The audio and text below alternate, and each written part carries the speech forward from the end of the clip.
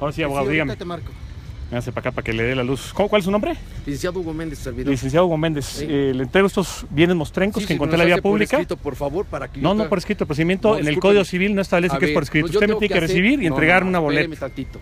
Yo le entrego la boleta, más Así que me haga usted entrega, por favor, también, para Por que yo favor. la acuse de recibir. La boleta me la va a hacer usted y en la boleta le firmo yo de, de entregado. A ver, estamos en un lugar político agresivo, no en un municipio, que quede claro. Bueno, como lea el usted Código menciona. Civil, abogado. Por eso mismo Lea se el lo Código estoy diciendo, Civil. Hay un artículo 17 de la ley de Así. administrativos. Yo no soy Yo con mucho gusto se autoridad lo recibo, para nomás que usted atender esa ley. entréguemelos. Por eso.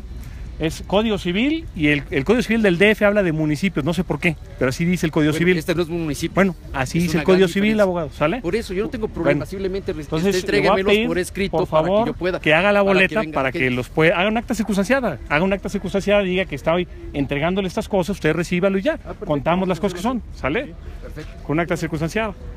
Bueno, el abogado me dice que tengo que apegarme a la ley de procedimiento administrativo, Artículo 17. artículo 17. Yo no soy autoridad para ceñirme a esa, a esa ley, Es que no es solamente las por autoridades. eso exacto, por eso me apego al Código Civil. No sé por qué lo esté retenido. Me De acuerdo con el Código Civil, estoy ayudando a liberar la vía pública. El trabajo que no hace la delegación, los vecinos le estamos ayudando a hacerlo. Ah, qué bueno. Está prohibido obstruir la vía pública de acuerdo con el artículo 25, fracción segunda de la Ley de Cultura Cívica, artículo 34, fracción segunda del Nos Reglamento de Tránsito. ayudar Chamizal, Le ayudamos donde usted quiera, abogado. Donde usted quiera, le ayudamos con mucho gusto. Sí, ya, de favor.